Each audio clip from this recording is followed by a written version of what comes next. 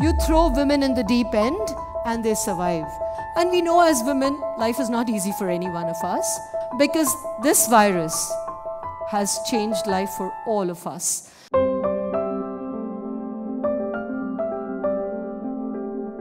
I'm a medical scientist, I'm a virologist, and we know as women, life is not easy for any one of us. But the only thing that matters is perseverance, confidence in ourselves, and we all know that we are gifted for something. I'm going to say, share a little story with all of you. Uh, this was 8 March, many years ago, and we were in the Palestinian refugee camps with my students from the higher colleges of technology, who are all health science students, and the director of UNRWA. And those of you who are not from the Arab part of the world, maybe you don't know what it stands for, is the United Nations Refugee Welfare Agency. And the director of UNRWA said, I hope this is my last International Women's Day. The, the day we stop celebrating, that would indicate that women have got their right. And 12 years down the line, we are still celebrating one day out of 365 celebrating women, which I don't understand why. This was the first time I took a group of Emirati young national students out of the country literally into the you know the equivalent of those of you who come from india is like the dharavi slums. The girls who came with me stood in the corridors worked on the uh, in the clinics which are very ramshackle because after the Nakba in 1948, those camps were supposed to be tented cities and they have become eight story, nine story ramshackle buildings. So we held camps not just in the clinics but in the old people's home.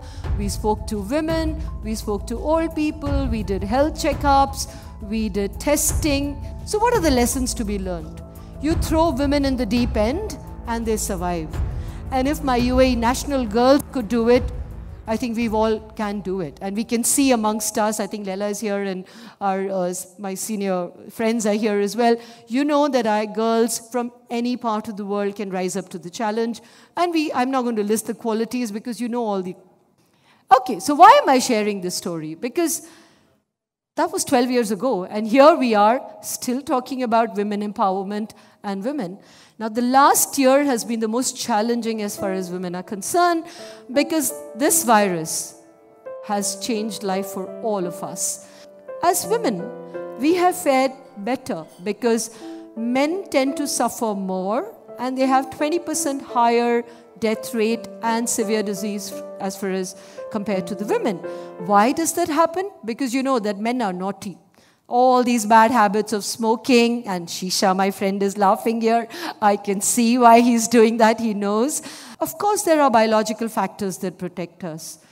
Women, by genetics, have two X chromosomes, and that help us to mount a better immune response. It also suppresses inflammation, because remember, even being pregnant, we have to suppress our immunity to be able to accept a foreign fetus. So that helped. Okay.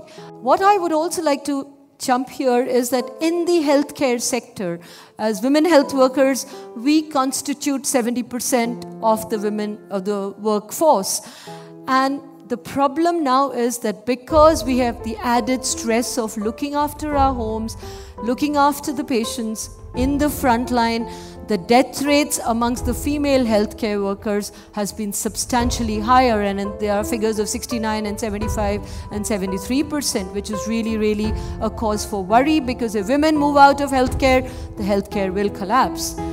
We know that it is very very difficult for women to be doing this juggling balancing act and we really need support from the entire society to stand by us and help us at this point in time what is important here is after this year of going through such a difficult, tumultuous time, pandemic fatigue is setting in. We all carry our masks, but we you know, kind of just let go of it.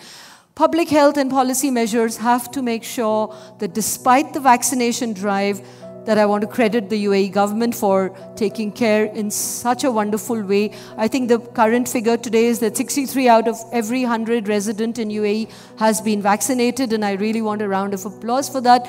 But remember, this comes with a caveat, and the caveat is that convergence of the vaccine as the number of people in the community get vaccinated the virus is mutating at a very high rate. And as of today there are about 6800 something mutations that have already been described. The worry is that with increasing immunity in the community we are going to end up with what is called escape mutants. You know viruses are very uh, tricky characters. The more pressure you put on them, the more they will change. So please do not lower your public health measures. Just because it's a women's forum, uh, just one word about pregnancy and COVID, because I think it affects a lot of young women here, and I see lots of them. Remember, if you're pregnant and you get COVID, the disease is much more severe. Uh, the, there is chances of uh, vertical transmission to the fetus. There have been stillbirths reported. And I'm also a pathologist, so if you look at the placenta, there is clear uh, changes in the placenta which reduces the blood flow to the baby. So there are consequences of that. That's it. I will end.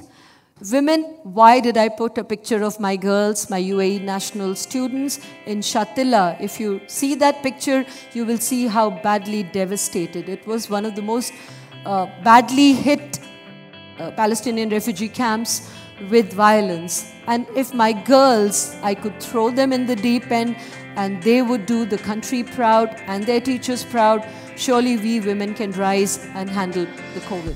Thank you so much.